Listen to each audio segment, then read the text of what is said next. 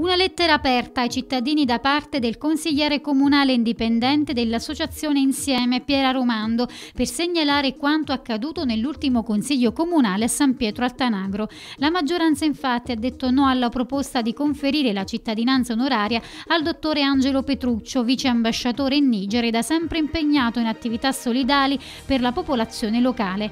Ieri per la prima volta in vita mia ho abbandonato l'aula consiliare, tanto è stato forte il senso di dissenso dissenso per quanto accaduto, si legge nella nota a firma della Romando. Angelo Petruccio si è impegnato per far arrivare medicinali per curare bambini, giovani donne e giovani uomini in Niger.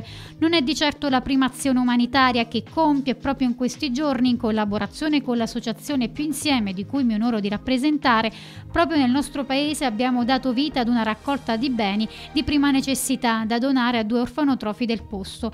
Angelo in questo momento continua ancora la nota in quel posto posto non rappresenta solo l'Italia, ma rappresenta San Pietro, rappresenta ognuno di noi e quello che io chiedo al Consiglio non è un atto dovuto, ma un atto di sensibilità.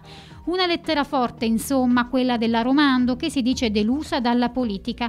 Dopo ieri si legge ancora: sono arrivata ad una conclusione che se la politica è questa, allora questa politica non fa per me, perché ho visto persone votare contro questa proposta. Le stesse persone erano certe che utilizzando l'arma della furbizia ne sarebbero usciti a testa alta e avrebbero fatto una figura migliore. E allora no, questa politica non fa per me, perché si sono attaccati alla forma, al modo in cui era stata presentata presentata la proposta si sono attaccati a quella stessa forma a cui loro non hanno mai badato e che li vede attaccati ogni volta. Poi la Romando nella lettera si rivolge ai giovani. A voi dico non abbassate mai la testa, combattete per i vostri ideali, dite sempre la vostra, camminate sempre a testa alta, rendetevi liberi al punto da poter guardare tutti negli occhi, siate liberi.